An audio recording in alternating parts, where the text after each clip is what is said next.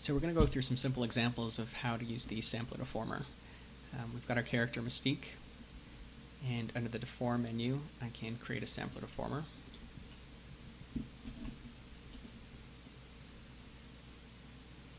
And by default, if you only have the geometry selected, uh, basically nothing happens except the deformer gets created. So now if I add a deformation, uh, let's say I want to do a surface offset, and basically the direction of a surface offset would be along the tangent, uh, the, the surface tangent in x, the surface normal, and the surface tangent in y, or basically your tangent u and your tangent v, and then the surface normal. So uh, let's move her up in the uh, along the surface normal. Get up close. And now we kind of have the Shrek version of, uh, of Mystique. So in this case, basically, we're just using the sampler deformer as a way to do an offset on the surface. If I uh, turn up the tangency, how much we move along the tangent of the surface, let's say we'll crank that up.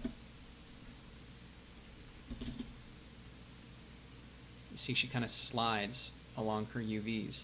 This can actually be a pretty cool effect um, if used very subtly along uh, to do things along the lines of, of skin stretching over muscle. Um, basically, if you have your UVs laid out well, you can actually sort of drive your skin along itself, um, which can be a pretty cool effect. Uh, the other options are you can do axis aligned. So in this case, the axes are x, y, and z in world space.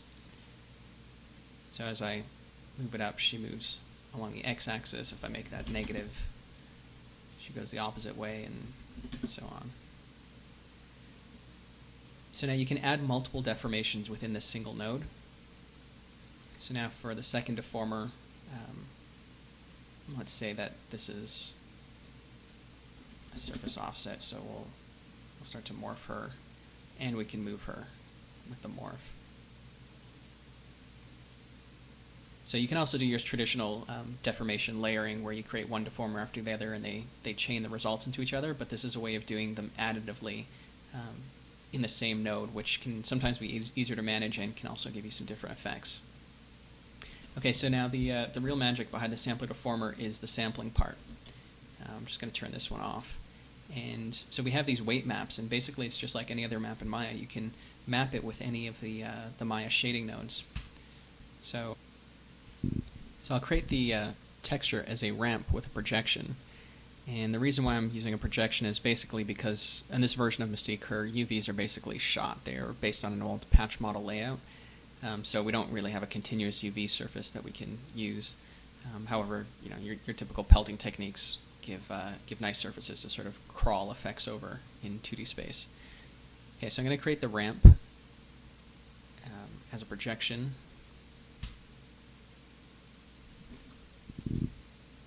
and we can go into the, uh, the projection node and under its effects basically turn off the wrapping.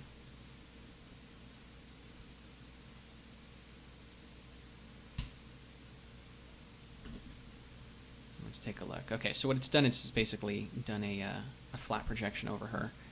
And let me just change this to the uh, grayscale ramp with values going from 0 to 1. And now you can see she gets uh, she gets taller. Um, so let's localize this effect further and say the projection is going to be cylindrical.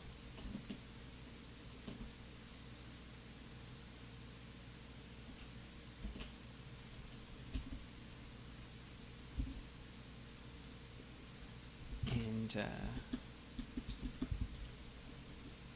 we can move it so it's just happening over her arm.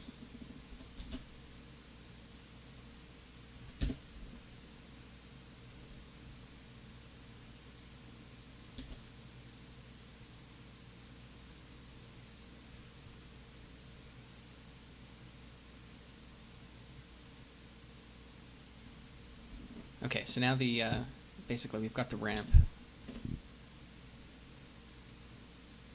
controlling the projection, and we want it to uh, basically bulge in the middle and not at the ends. So we can smoothly move that bulge in.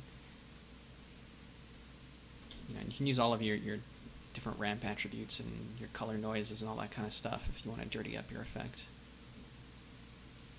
Now let's go back to the sampler deformer and uh, sculpt sort of what that effect looks like. So right now it's set up to be axis aligned. So in this case, I've just set it so it's only deforming in the uh, y-axis, but we wanted to make a bulge, so I'll go back to surface offset. Ah. One thing to note when you're uh, using ramps is that they have default colors. So you want to set that default color. So basically, outside of that ramp, what color is it going to be? If we had it set to white, it'd get the full effect. Um, we set the default color down to zero. So you know now we've got a, a bulge that we can move anywhere on her body. Um, you can use your your typical ramp attributes and uh, 2D texture placement attributes on that as well. So you can do things like uh,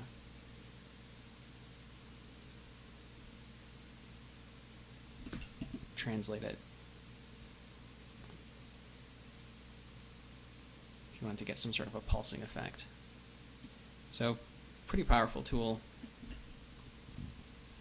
for that. Um, now, you know, to get the, the typical Mystique transformation effect, the sampler deformer gets used as a, uh, as a morph target.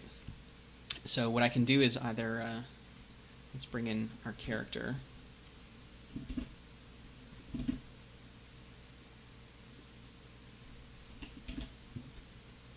Magneto.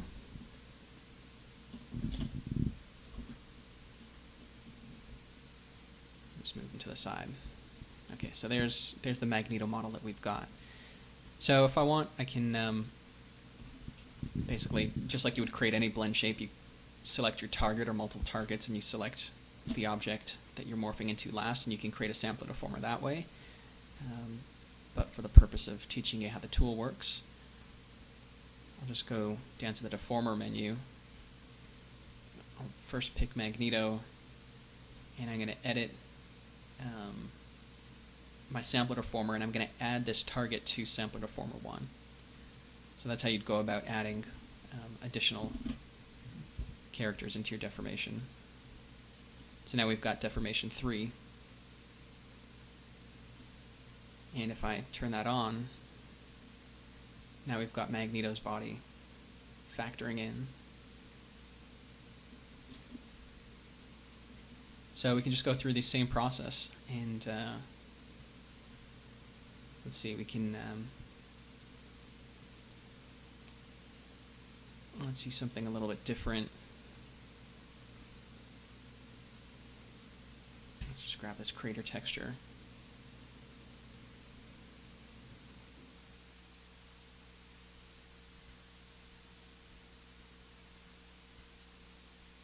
Again, turn off the wrap.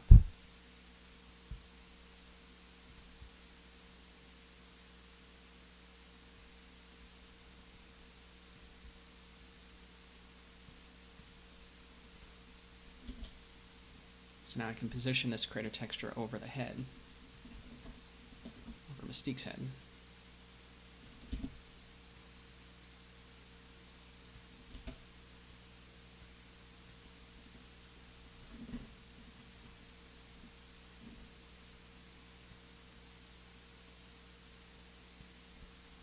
Same idea here when you turn off the wrap, you turn down the uh, color balance to be black.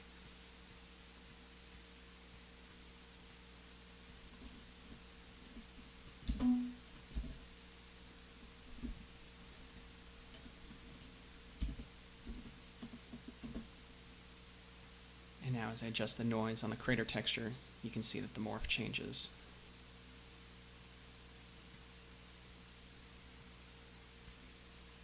Same idea, you can just animate that moving, um, cycle it through, whatever. Um, so basically, it's your shader networks that are that are being used to drive the sampler deformer, and you can layer you know really advanced shader networks together to create pretty complex effects.